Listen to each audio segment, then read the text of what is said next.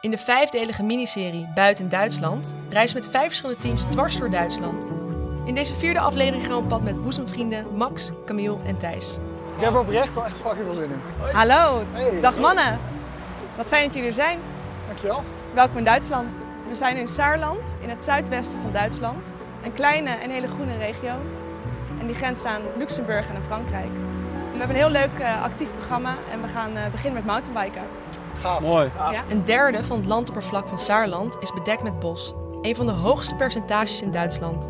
Het is immens populair om hier te mountainbiken op speciaal ingerichte parcours. Het zijn elektrische mountainbikes, dus je moet ze hiervoor even aanzetten. Perfect. Turbo. Turbostand. Nou, helmpje op en dan, eh, dan kunnen we gaan. Het deel dat wij gaan afleggen op de stiefel heet Puur. Dit vanwege de wonderschone pure natuur rond Zang Imbert. I came here to do. I was made for this. I was made for this. Born in the wild, formed in the fire, built for the battle. I was made for this. Lekker tijd. Maar vet man. Ging lekker bij die hele Ja, steile ja, die hele stijl. Maar ik ging maar door. Ik dacht, ja, als ik nu niet doorga, dan val ik. Dus dan ga ik maar. Die nacht slapen we, omringd door de glooiende heuvels van het UNESCO Biosfeerreservaat Blieskou, in een glamping resort. Een combinatie van kamperen en comfort in huisjes die zijn gemaakt van duurzame grondstoffen. De volgende ochtend staat in het teken van je dagelijkse leven vertragen. In het Kerkelerbos wacht onze gids Lothar ons al op. We gaan waldwerken, terug naar de basis en werken met de natuur en je handen. Normaal zit je toch in Nederland altijd achter je scherm. Eh, zit je- zit je veel binnen. En eh, heerlijk om nu gewoon door die bossen een beetje ja, als een klein kind gedragen eigenlijk. Zwaagje dit hoor. Het is mooi dat we allemaal echt oprecht het heel leuk vinden. Ik vind het Ja, het is echt heerlijk om te doen. En Ja. bij jou ziet er echt heel goed uit. Dankjewel. Je hebt dit ook mooi bewerkt. Ik heb goed mijn best gedaan. Vind ik zelf ook wel. Ik ben er wel trots op. Wat is dit?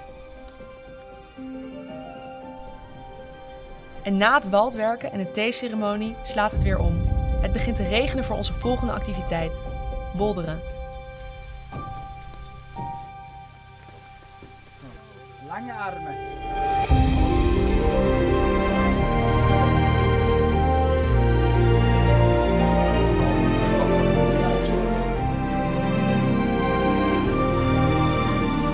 Een talentje hoor. ein bisschen helfen.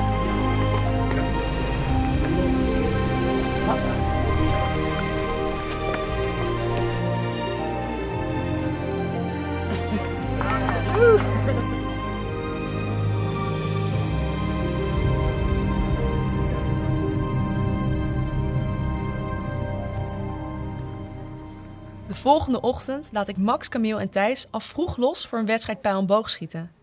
Uiteraard weer in de Duitse natuur. brengt een beetje je- de oermens in je terug, hè Camille? Die is nooit echt weg geweest, maar Dat staat je echt goed. Dat is wel vet hè, dit. Let the games begin. Het begint te regenen, extra dimensie. Totaal scheef. Oh, mis. Het staat 2-2. Dit is eh, de finale pijl, all or nothing. Oeh. Nou, geef elkaar een hand.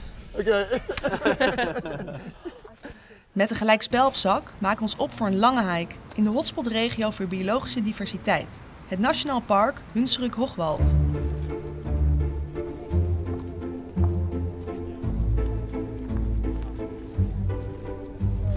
Deze stenen hunnering stamt uit de periode 450 jaar voor Christus tot drie eeuwen erna en omsluit een gebied van maar liefst 19 hectare.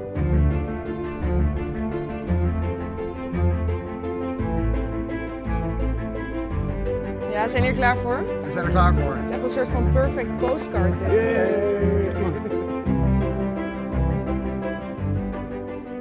I'd like you to remember, keep your small ranger in your heart, and wherever you travel in the world, speak with rangers and remember they protect whatever is rare.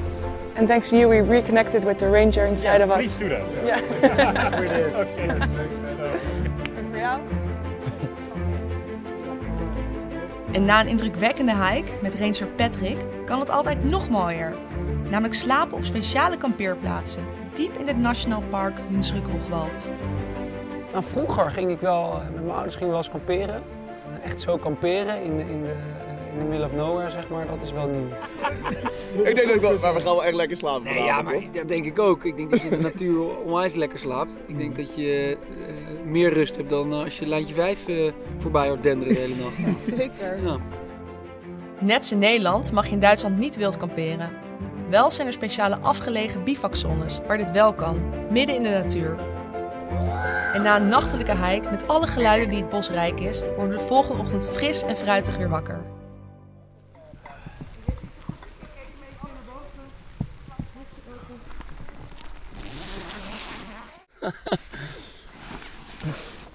Nou, wel lekker geslapen geloof ik. In deze natuur. En zo start dag 4. We gaan kajakken op rivier de Saar. De Saar stroomt door Frankrijk en Duitsland. De rivier heeft een totale lengte van 246 kilometer. De rivier heeft in haar miljoenen jaren bestaan een vrijwel ronde bocht gecreëerd. Uniek in Duitsland. Gozer, je zak je bijna door de kano heen. Aan die kant op, hè? Gaan we meteen een rondje rijden? Adios amigos. Als je hier bent, dan besef je pas hoe lekker het is om even vol in de natuur te zijn. Dus ik eh, geniet ervan.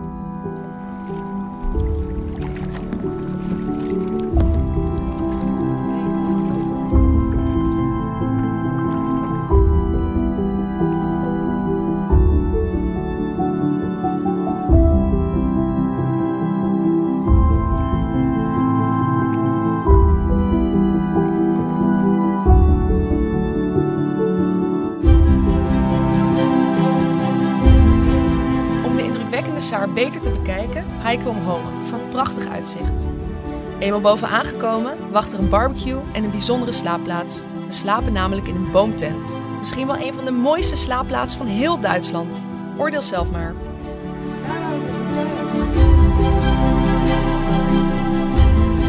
Max er even te bezig.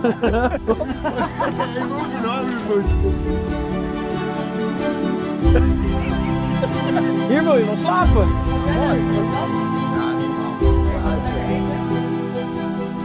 Een mooie wandeling. Als we land op het pad. Als dingen gebeurd zijn en je hebt het er niet op. Oké jongens, Ja, lekker. erbij. Lekker thuis.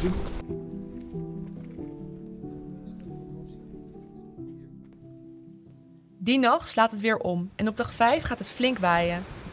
Toch moeten we afscheid nemen van de Saar en van elkaar. Met nog één wandeling op het programma. Het boomtoppenpad. Oh, that sound, that sweet, sweet sound. Oh, sound, sweet, sweet sound. Het boomtoppenpad slingert ongeveer 800 meter lang door het bos, tot een hoogte van maar liefst 23 meter. Op het eind een uitkijktoren.